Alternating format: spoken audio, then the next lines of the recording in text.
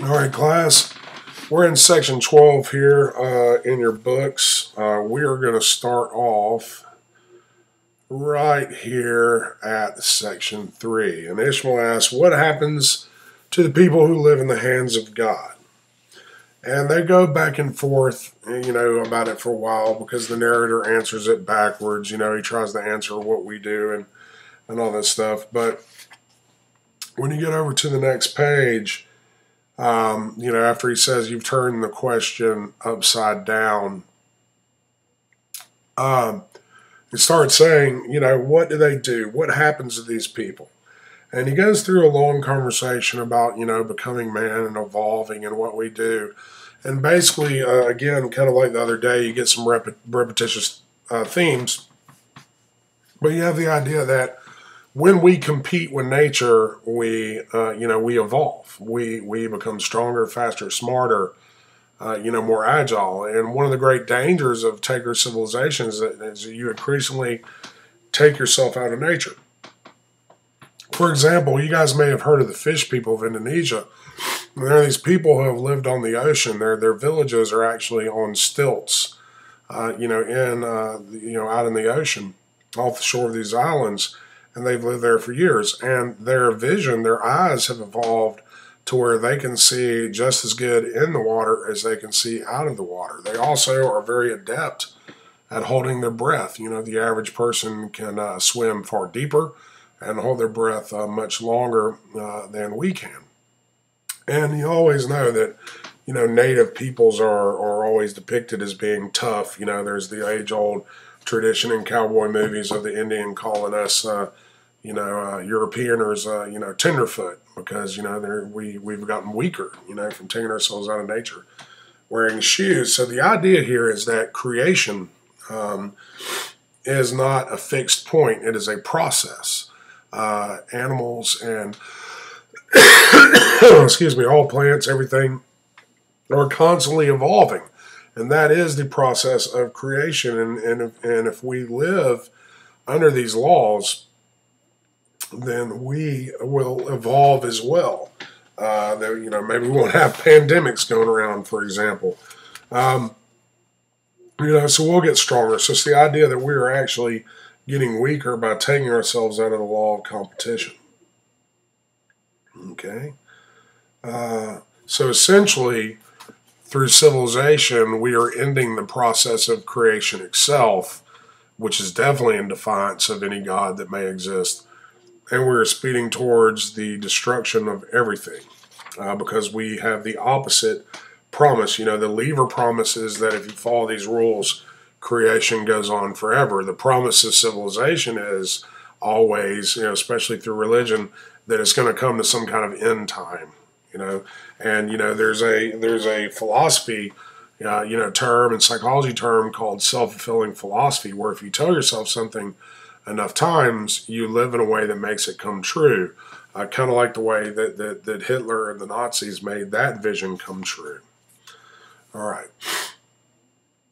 So over here in chapter six you know um, there's also lots of neat evidence for this and by evidence, I mean basic logical argument, you know, list of other things that became the way that we became. Um, so, one thing he starts talking about in section six is the tree of the knowledge of, of good and evil, which we've already talked about in the tree of life, and wondering, you know, if we'll ever get to the tree of life and what it could be. And he also starts to point out that you know, the idea that we were never kicked out of the garden, this is just what we've done with it. And he starts talking about self awareness and intelligence. Okay, so if you have a psychology class, you may have heard of the rouge task, which is where you take a uh, baby around, you know, anywhere from six to months to a year. Uh, the, and the idea is that you can pinpoint when they become aware of self, when they know I'm an individual, I am me, when they're capable of having that level of thought. So what you do is you acclimate the child to a mirror for a couple weeks so that it's used to its reflection. And then you put a red lipstick on its cheek in a place where it can't see it with its eyes. but can see it in the mirror. And if that child reaches to its own face to touch the red schmear, then it knows that that red is on my face. I'm an individual. So what's interesting is there are many species of animal on this planet that has that level of self-awareness. You know, dolphins, whales, a lot of those, uh, you know, ocean mammalia, um, you know, uh, octopus, octopus probably do. I don't know if it's ever been tested, but a lot of your primates do as well. And so, if these creatures, uh, you know, are attaining the idea of self, he starts acting. You know, look, what, he starts asking this question: What if our role is that we're supposed to be the leaders for the rest of the world? What if we were the ones who are supposed to reach this point of evolution? and then we're supposed to lead by design because I, by you know lead because we're the first ones to the rest of the species. he's making a very good point here. The point that he's making is you can't get rid of the story of civilization, this flawed thing that we've been doing, without replacing it with another stronger, better story. So, you know, if you think about like if you're a believer and you think about this in religious terms, if some of other God's creations are starting to, you know, gain intelligence and talk and communicate and gain self awareness, then shouldn't you lead them into the fold? Shouldn't you be a leader for them? Tell them how to live. You know, usher them into the faith. And, uh, you know, you may be laughing at this, but keep in mind, you know, we had a silverback gorilla, you know, in Atlanta that could sign language, uh, you know, full sentences. You know, there you would be surprised how intelligent uh, you know animals are. I mean, we trained you know dolphins to set bombs on ships and disarm bombs and tell us where bombs are. You know, dolphins and elephants are capable of doing you know fairly complex math. Um, you know, um, and you know, and, and they have languages uh, so complex that we can't even understand them. So you know, what what if it is that we're supposed to lead these things into this big communal, you know, society that is the world. I mean, think about, you know, the idea of other animals becoming intelligent, us being able to have like conversations in society with them, you know, be like something out of a science fiction novel or a video game, be amazing. So basically, the point is that if we're going to replace uh, something, then it has to be with something good. We have to come up with a third story of how to live life on this planet that doesn't, you know, destroy everything. And now we know what the rules are. You know, don't destroy your competition. Don't destroy their food. Don't keep them away from food. You know, think about how you treat things, right? And he asks a series of questions. You know, does does being civilized mean that, that you can destroy the world? And you know, does being civilized mean that you have to you know, give up farming and, uh, you know, and, and, and a, a lot of other points like that. And then he also tells us what do we need to do? Like, what do we need to do to get this across? And here we have it in this section. First, the story of Genesis must be reversed.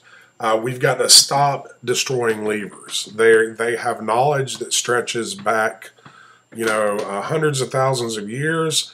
Um, they know the multiple ways to live. Uh, we've got to quit doing that. We've got to get rid of the idea that there is only one right way to live. We have to spit out the fruit of civilization. We have to come up with another story, another way to live life, one that's more responsible, you know, and what's wrong with being more responsible? And then he says, and also, you know, uh, we, we've, we, we've got to think about how we live our lives. We have to come up with a new paradigm, a new story of how to live life. That's the only way. And you, class, you have to take what you've learned from this book and pass it on. You know, uh, and it starts talking about the way that Christianity spread across the country, you know, I mean, the world without email or all that stuff, you know, and it was done by one person, one person teaching 10 others what they've learned, and those teaching 10 others, and those teaching 10 others.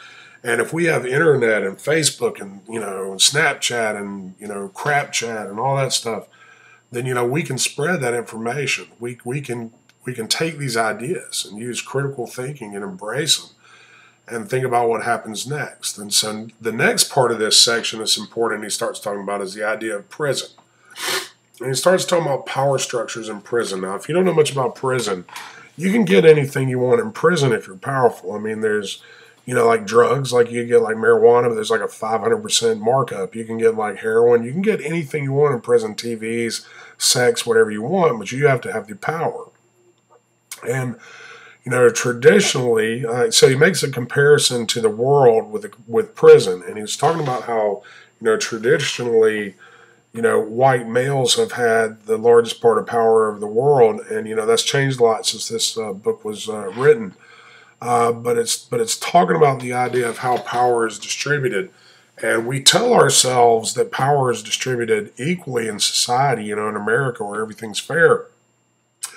But the country is, and the whole every country is like a prison. You know that that is there is not a fair power structure. There's not a fair uh, you know, a way to make lots of money. You know, some things are are built in a way where the wealthy, you know, get a you know get better deals and get advantages by laws and things like that. So we know that these things aren't aren't fair power structures, but we tell ourselves they are anyway. Now in prison, the difference is that we know that. Now what's interesting is that he mentions Donald Trump and that Donald Trump is also, you know, uh, just as much as a prisoner of this system as everywhere else. And this is interesting because this was written before, you know, he was president back in 1994.